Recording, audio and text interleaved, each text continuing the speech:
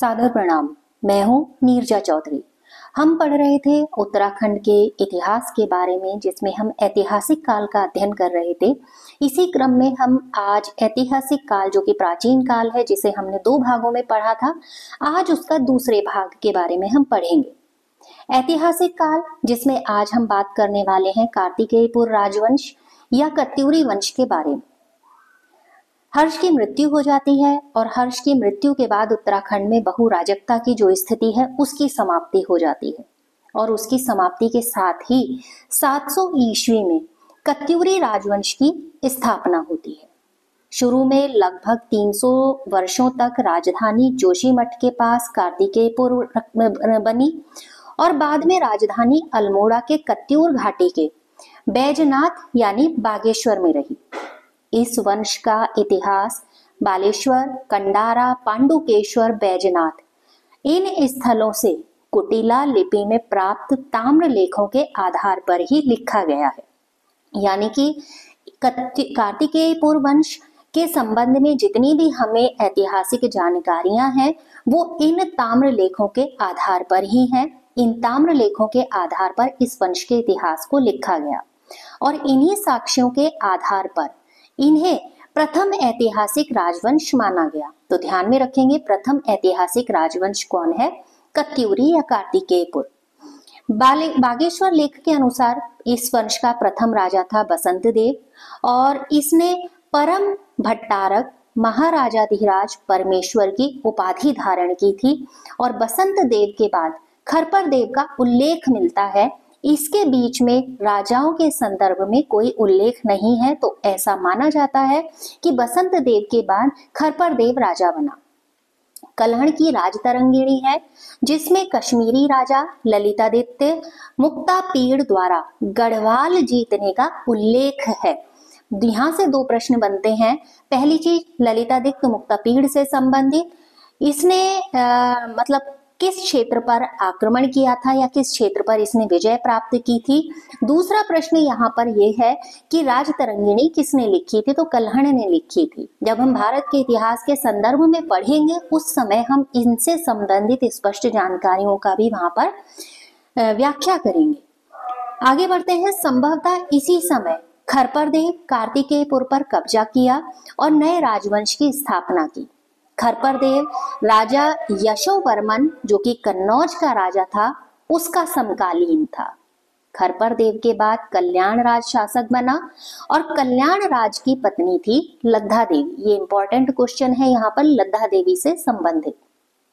इस वंश का, यानी कि खरपर देव वंश का अंतिम शासक, इसका पोता, यानी कि त्रिभुवन राज था।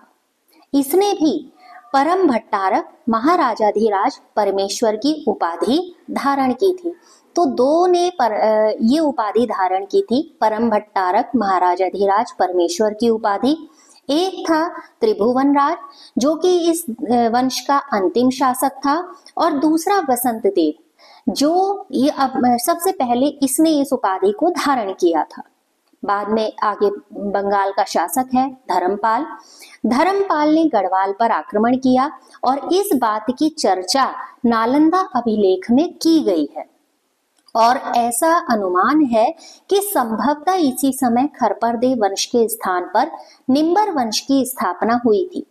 यहाँ निम्बर वंश से संबंधित एक महत्वपूर्ण प्रश्न आता है, जो परीक्षाओं में अक्सर पूछा जाता है कि निम्बर किस मतावलंबी थे तो निम्बर शैव मतावलंबी थे, यानी कि वो शिव को मानते थे और उन्होंने जागेश्वर में विमानों का निर्माण करवाया था।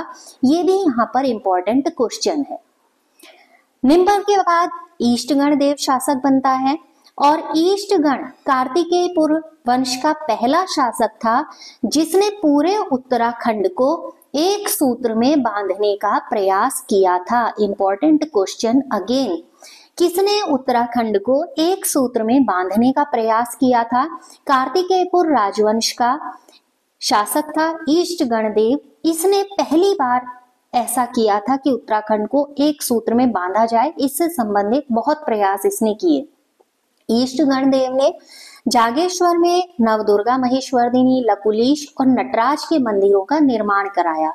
ईष्टगण देव भी शैव मतावलंबी था और उसने जागेश्वर में इन मंदिरों का निर्माण कराया। ध्यान रखिएगा कौन सा नव दुर्गा महेश मर्दिनी, लकुलीश और नटराज।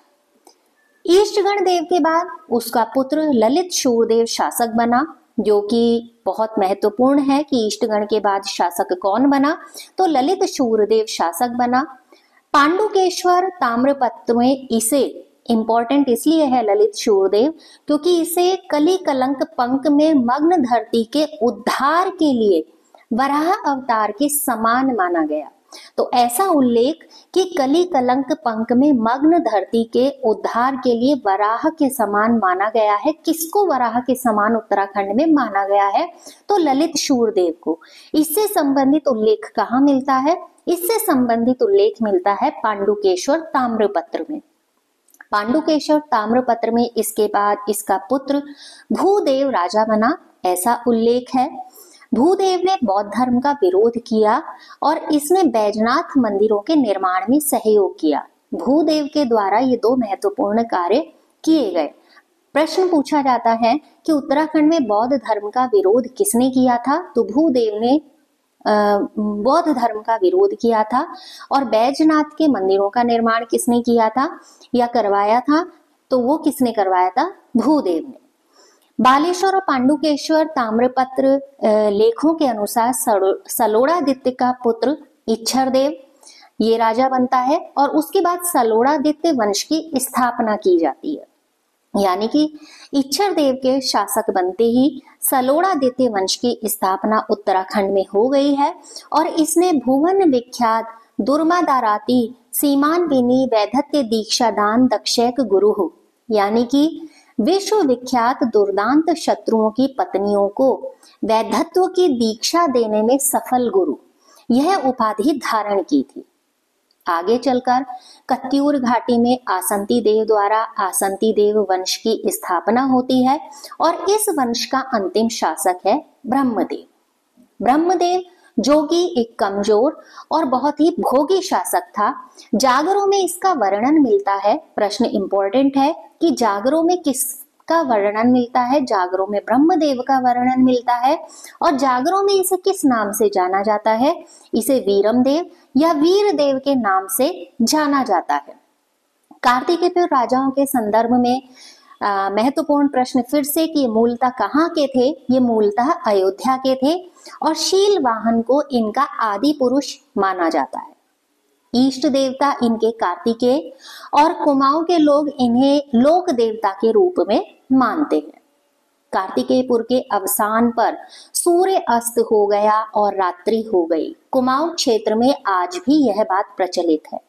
ऐसी बात इसलिए प्रचलित है क्योंकि इस क्षेत्र के उद्धार के लिए इस क्षेत्र में जितने भी सामाजिक कार्य किए गए, जितने जीर्णोद्धार किए गए और जनता की भलाई के कार्य किए गए, उसके लिए जनता यह मानती थी कि कार्तिकेय पूर्ववंश के अवसान पर सूर्य अस्त हो गया और रात्रि हो गई। इन शासकों की राजभाषा संस्कृत और भाषा पाली थी। कार्तिकेयपुर शासन तीन भागों में विभक्त था। शीर्ष सत्ता नरेश के हाथ में थी। फिर राज्य, जिसका प्रधान उपरिक या राज्यपाल कहा जाता था। फिर ज़िले, जिलों को विषय भी कहा जाता था और विषयों का प्रमुख होता था विषयपति। इसके बाद कत्या, कत्यूरी राज राज्य कुल कितने जिलों में विभक्त था? कत्यूरी राज्य कुल पाँच जिलों में विभक्त था। बहुत सारे अधिकारियों के लिए अन्य अन्य उपाधियाँ दी गई हैं, जिनमें हम प्रमुख ले रहे हैं, जो कि परीक्षा में पूछी गई हैं। दांडे जो दंडधारी होता था, उसको दांडिक कहा जाता था। खड़गिक। जो खड़गधारी सिपाही होता था, उसे खड़गिक कहा जाता था। और दोषापराधिक, यानी कि अपराधियों को पकड़ने वाला। सर्वोच्च अधिकारी दोषापराधिक कहलाता था। इन राजाओं की अर्थव्यवस्था का आधार था कृषि वन और खनिज संपदा। यानी कि कृषि वन और खनिज संपदा के आधार पर यहाँ की अर्थव्यवस्था चलती थी। जोशी मठ का नरसिंह मंदिर, वसंत देव के द्वारा और जबकि परम देव के द्वारा बद्रीनाथ मंदिर को भूदान किया गया था। ये इंपॉर्टेंट है कि नरसिंह मंदिर का निर्माण किसने कराया था? पहला तो यही है कि कत्यूर शासकों ने कराया था और किस शासक ने कराया था? बसंत देव ने इसका निर्माण कराया था। जागेश्वर मंदिरों का निर्माण और जीर्णोद्धार, यह प्रश्न भी पूछा जाता है तो जागेश्वर मंदिरों का निर्माण और जीर्णोद्धार, यह कत्यूरी शासकों के द्वारा कराया गया था। इंपॉर्टेंट क्वेश्चन है। अन्य महत्वपूर्ण क्वेश्चन ये है कि आदि गुरु शंकराचार्य किसके समय में उत्तराखंड आए थे? यानी कि आदि गुरु शंकराचार्य का उत्तराखंड आगमन हुआ तो उस समय किसका शासन था? उस समय शासन था ईष्ट देव का। शंकराचार्य ने बौद्ध धर्म के प्रभाव को समाप्त करके हिंदू धर्म की पुनर्स्थापना की थी। बद्रीनाथ, केदारनाथ मंदिरों का पुनरुद्धार और ज्योतिर्मठ की स्थापना की थी और सन 820 ईस्वी में केदारनाथ में ही आदि गुरु शंकराचार्य ने अपना शरीर त्याग दिया था। यहाँ पर इसके साथ ही प्राचीन काल से संबंधित जितना ऐतिहासिक विवरण हमें उत्तराखंड का प्राप्त है, वो सभी अगले वीडियो में हम जानेंगे कि ऐतिहासिक काल के अंतर्गत ही मध्य काल में यानी कि कुमाऊं और गढ़वाल उन स्थानों पर किस तरीके के शासक रहे और किन किन शासकों का शासन रहा, कैसी व्यवस्थाएँ रही। आप लगातार साथ बने रहिएगा। प्लीज़ वीडियो को शेयर ज़रूर कीजिएगा, चैनल को सब्सक्राइब ज़रूर कीजिएगा और कमेंट ज़रूर कीजिएगा, क्योंकि हम वही प्रश्न लेकर आ रहे हैं जो परीक्षा की दृष्टि से महत्वपूर्ण है। अगले वीडियो में जल्दी मिलेंगे। तब तक के लिए आप सभी लगातार साथ बने रहें। नमस्कार।